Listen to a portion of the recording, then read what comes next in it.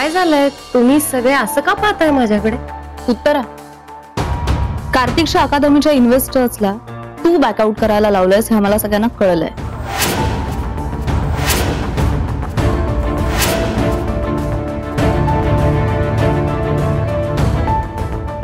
मी? मी असं करेन असं खरंच वाटलं तुला? तुला काय वाटलं ग? तू माझ्यावर प्रेशर टाकशील आणि मी ते घेईन. मी कोणी कार्तिक नाहीये. हा तुझा अग्रेसिव्ह स्वभाव ना कार्तिक समोर दाखवायचा. माझ्यासमोर नाही. आणि आणखी एक. यापुढे कुठल्याही माणसावर आरोप करताना पुराव्यानिशी आरोप करावा. उगाच हवेत बाण मारू नये. पुरावे आहेत. हे बघ. आता परवा त्याच्या मेन इन्व्हेस्टरशी भोसले साहेबांचे मी बोलले. त्यांच्याकडून मला असं कळलं की त्यांनी इतका पैसा त्या अकादमीवर ओतलाय, पण काम काहीच दिसत नाहीये. मी म्हंटल, का? का देताय पैसे? बंद करा.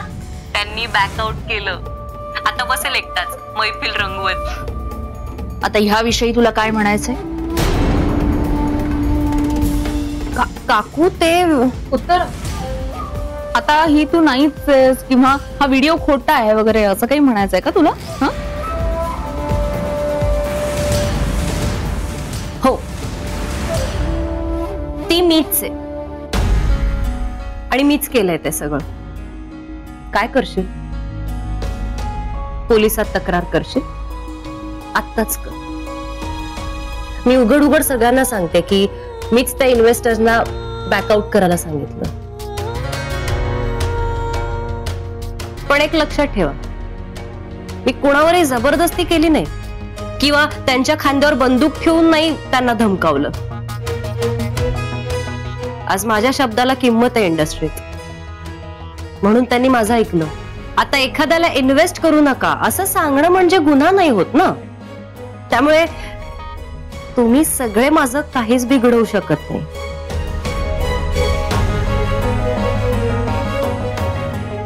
आणि कार्तिक. मी हे जे काही केलंय ना याला सर्वस्वी तू आणि फक्त तूच जबाबदार आहेस.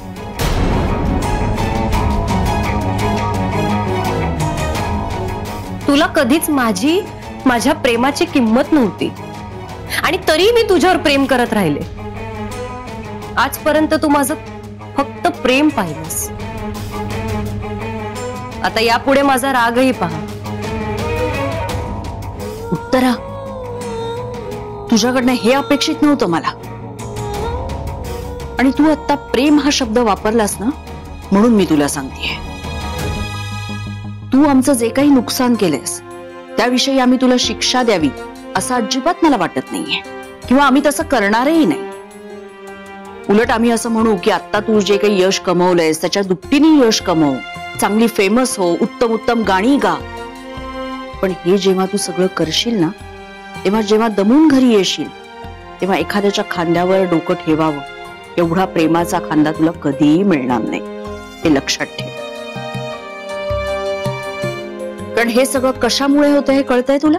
हे सगळं मिळवण्यासाठी माणसावर प्रेम करायला शिकलं पाहिजे.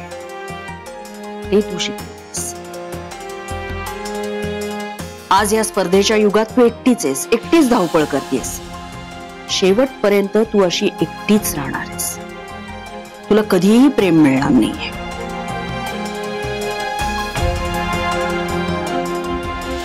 आणि तुझं जर का कार्तिकवर खरं प्रेम असतं ना तर तू अशी कधीच वागली नसतीस.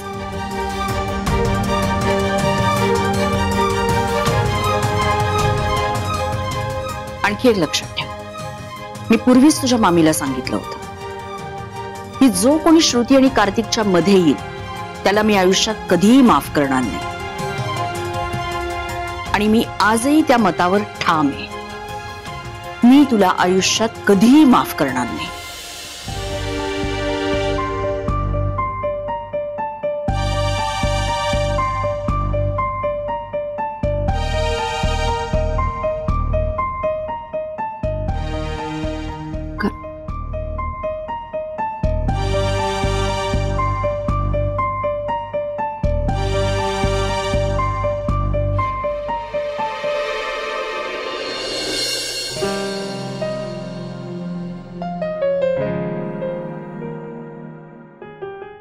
श्रुती माणसं इतकं कसं बदलू शकतात अगं? असं बोलू नये. का तर मला असं बोलायला आवडतही नाही पण सारखं मनात येत ज्या मुलीला एकेकाळी मी संगीत क्षेत्रात अक्षरशः उभं केलं जी मला साथ करायची साथ. आज तीच मला पाडायला बघते.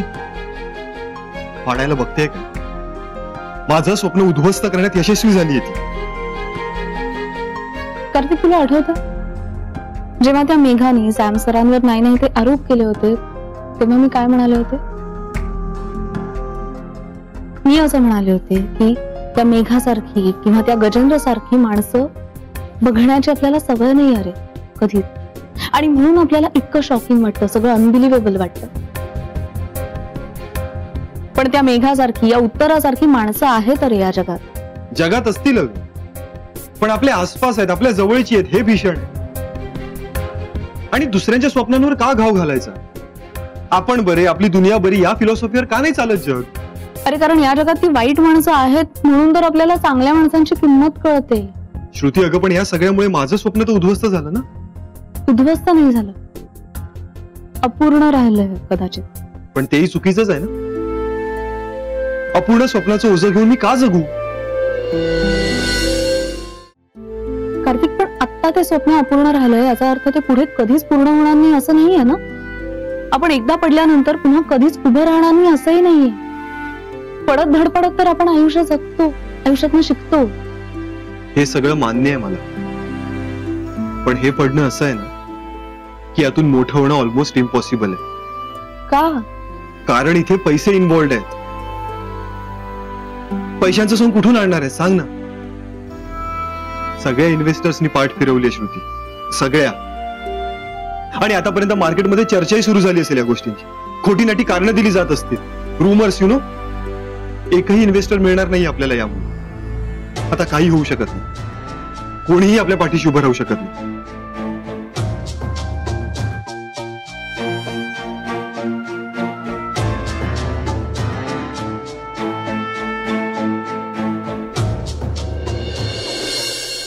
काय? बघा आला. अरे. बाबा अरे केव्हा आलात? अगे हे काय आत्ताच डायरेक्ट एअरपोर्ट वरून इथं आलोय. हो पण मला काहीच कल्पना नव्हती तुमच्या येण्याची.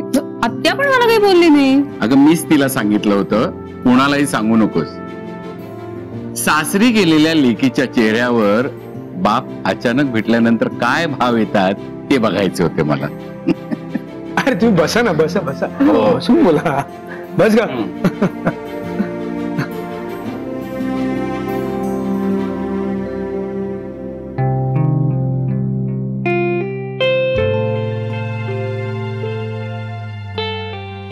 कार्तिक? अजून चिडलायस का रे माझ्यावर? नाही पंडितजी. तेव्हा थोडं वाईट वाटलं होतं. पण मोठ्यांवर फार वेळ चिडून नाही राहत आहे. राहूही नाही. आणि चूक माझीच होती. फक्त मला ती आत्ता कळते एवढंच. अकादमीच्या बाबतीत मी तुमचं ऐकायला हवं होतं. न पेलणारं स्वप्न बघून मी खूप मोठी चूक केली. कार्तिक अरे वेडायस का तू? स्वप्न ही अशक्य असणारीच बघायची असतात. मग ती शक्य करण्यात मजा असते. यालाच सर फिरापण म्हणतात. हो ना. आणि तुम्हाला तर ही अशी सरफिरी माणसं खूप भेटली असतील नाही का? अगदी बरोबर. कार्तिक सारखी कितीतरी मंडळी मला भेटली. पण त्यांच्याशी बोलल्यानंतर मला आयुष्यात नवा पर्स्पेक्टिव्ह मिळाला. वाह वाह क्या बात क्या बात. अशा लोकांना भेटल्यानंतर जाणवायला लागलं की मी कार्तिकच्या बाबतीत किती मोठी चूक केली आहे. खरं सांगतो जगामध्ये अशा कितीतरी शिक्षण संस्था आजही कार्यरत आहेत ज्या शिक्षणाचा बाजार अजिबात मांडत नाहीत. कार्तिक यात ब्लँक चेक आहे. तुला हवी ती रक्कम यावर टाक. बाहेरच्या कोणावरही डिपेंडंट राहू नकोस. अरे घे ना. घे. पंडितजी तु- तुम्हाला माझा प्रॉब्लेम कसा कळला? हे बघ कुठून आणि कसं कळलं हे आता महत्वाचं नाहीये. त्या चेकवर अमाऊंट टाक. पाहिजे ती अमाऊंट टाक. आणि कामाला लाग. नाही पंडितजी. मला खरंच हे पैसे नको आहेत. मला तुमचे आशीर्वाद तुमचा पाठिंबा एवढंच हवंय. बळ आलंय मला त्यानेच. मला बाकी काही नकोय मला माहीत आहे. तू प्रचंड स्वाभिमानी आहेस. आणि मला तुझा स्वाभिमान दुखवायचाही नाहीये. मी हे देतोय ना ते केवळ माझ्या गुरुजींचे सूर टिकून राहावेत आणि ते पुढच्या पिढीपर्यंत पोचावेत म्हणून. प्लीज तू हे घे.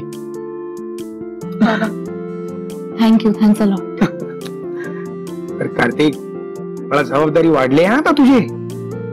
तर पुन्हा एकदा नव्या जोमाने कामाला लाग. आणि या तुझ्या अकादमीच्या कामामध्ये मला सुद्धा इन्व्हॉल्व केलंस तर चालेल. हा?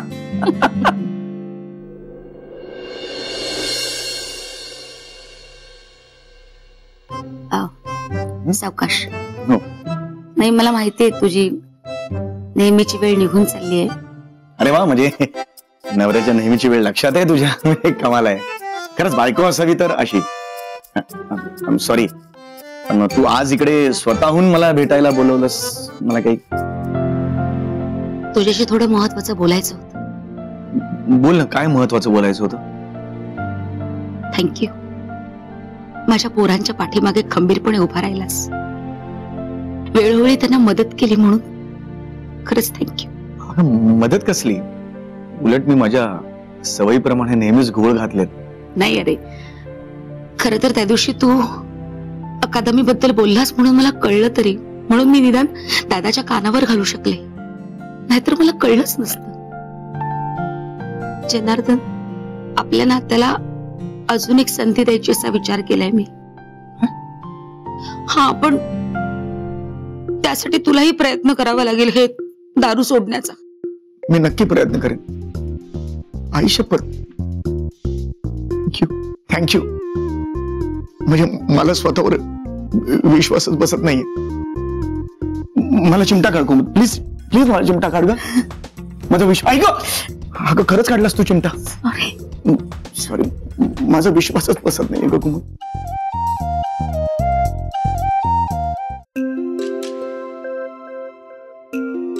कार्तिक? खुश आहेस ना तू? आता तर काय बाबांचा अकादमीला पाठिंबा आहे म्हटल्यानंतर तर सोनच होणार आहे अकादमीचं. फायनली तुझं स्वप्न पूर्ण होणार. काय झालं आला? श्रुती या जगातला सगळ्यात विचित्र प्राणी म्हणजे माणूस.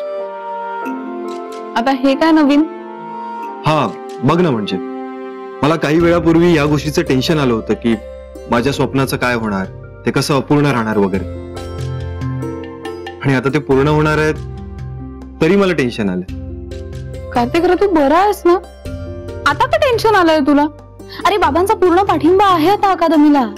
म्हणूनच तर. पंडितजींनी पाठिंबा दिलाय यामुळेच मला जास्त टेन्शन आलं.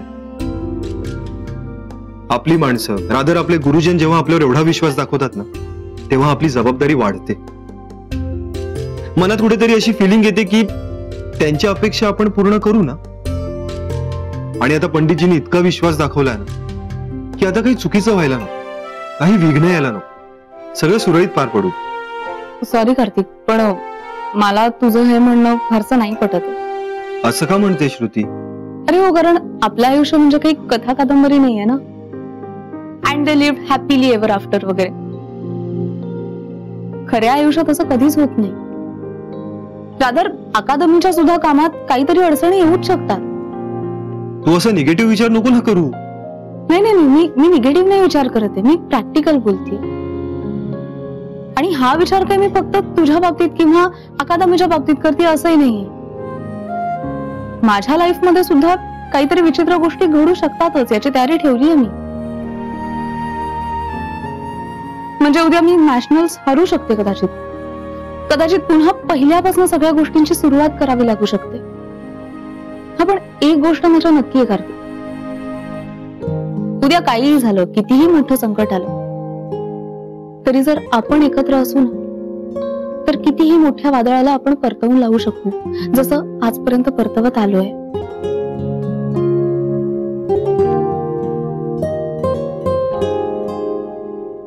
करेक्ट आहे तुझं म्हणणं. तूफानों का रुख बदलना बिल्कुल आसान है मगर साथ तेरा हो तो कोई मुश्किल मुश्किल नहीं.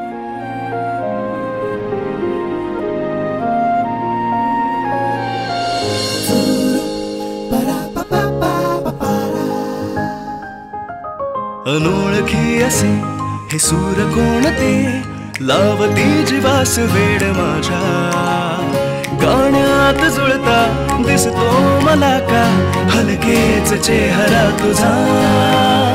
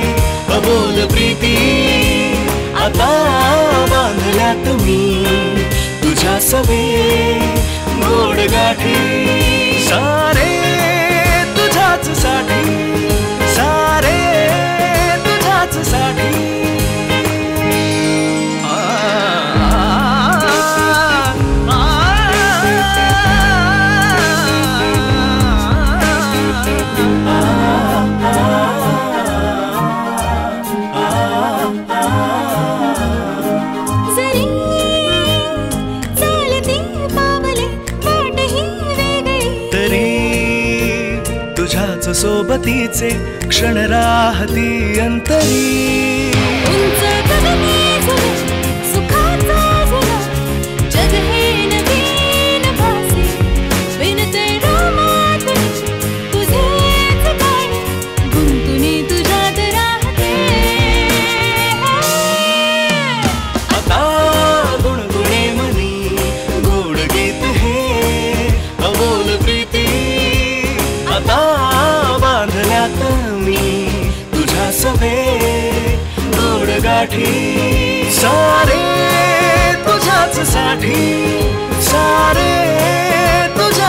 साठी सारे तुझ्याच साठी.